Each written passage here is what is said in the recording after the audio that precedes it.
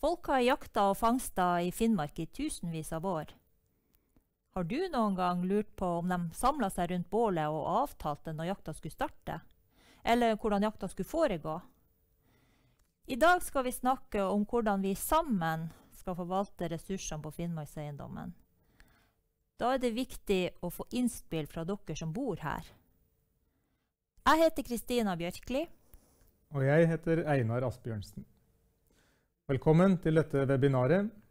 Både Kristina og jeg vi jobber i utmarksavdelingen i FEFO. Målet vårt i dag er å invitere dere til å komme med innspill til forvaltningen vår av småvilt og storvilt på Finnmarkseiendommen. Oppdraget vårt er å forvalte utmarksressursene til beste for innbyggerne i fylket, og særlig som grunnlag for samisk kultur, reindrift, utmarksbruk næringsutøvelse og samfunnsliv.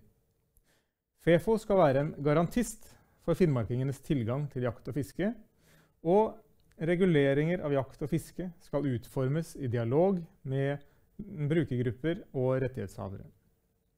Dersom vi gjør endringer i forvaltningen, er det viktig at det er godt forankra hos rettighetshaverne.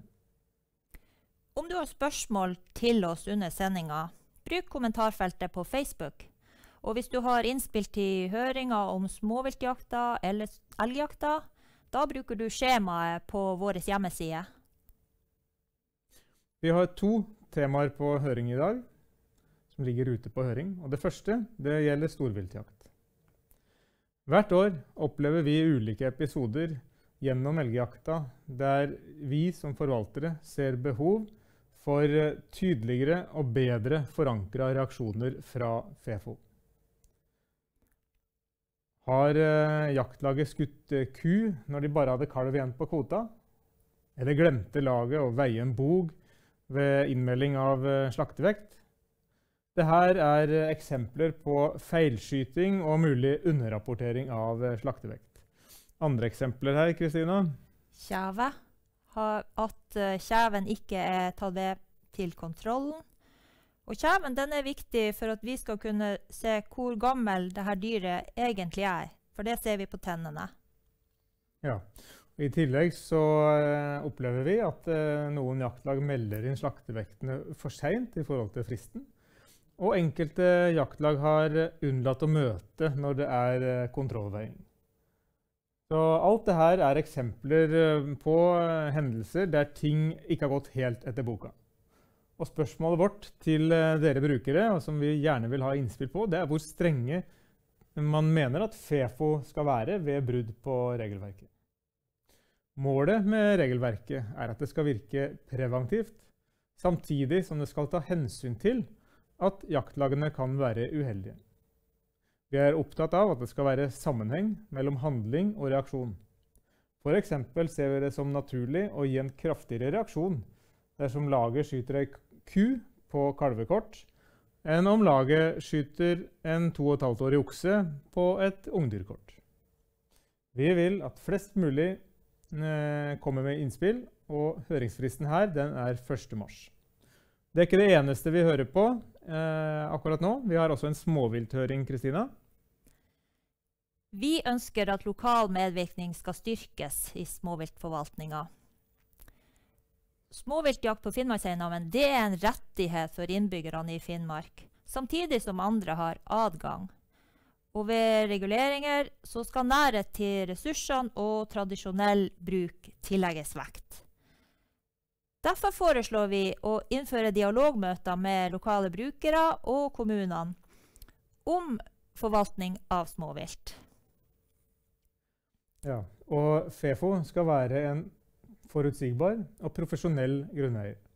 I 2018 reviderte vi retningslinjene våre etter en bred høring. Og i fjor gjennomførte vi to spørreundersøkelser blant småviltjegere i Finnmark. Vi ønsker å få mer kunnskap om småviltjegerne i Finnmark, og se om det er mønstre i jakta som peker seg ut, spesielt med tanke på samisk bruk. Vi fikk inn nesten 2000 svar, som gir oss god kunnskap om hvordan våre lokale rettighetshavere ned på kommunenivå utøver småviltjakt, og hva de mener om forvaltninga. Så ved framtidige dialogmøter så vil denne kunnskapen være relevant og verdifull. Ja, og dere kan eh, lese mer om resultatene i spørreundersøkelsen på våre hjemmesider. Ut fra svarene vi fikk i undersøkelsen, så foreslår vi nå å innføre dialogmøter med lokale brukere og kommuner om forvaltning av småvilt. Så vi ønsker innspill fra dere, og særlig forslag til deltakere. Hvem bør delta i sånne her dialogmøter? Og eksempel på lokale brukere det er jegerorganisasjoner, fangstforeninger, reinbeitedistrikt og bygdelag. Vi ser for oss at kommunene er et godt utgangspunkt for inndeling. Kom gjerne med innspill på om dette oppleves riktig, eller om inndelinga bør gjøres annerledes. Og som for storvilthøringa så er også høringsfristen her 1.3. Dersom du har spørsmål til oss, kan du skrive til oss på Facebook-kontoen vår. Og hvis du har konkrete innspill til høringen, så send inn til oss på skjema. Og Da gjenstår det bare for oss å eh, ønske flest mulig innspill og eh, takke for oss. Ha det bra.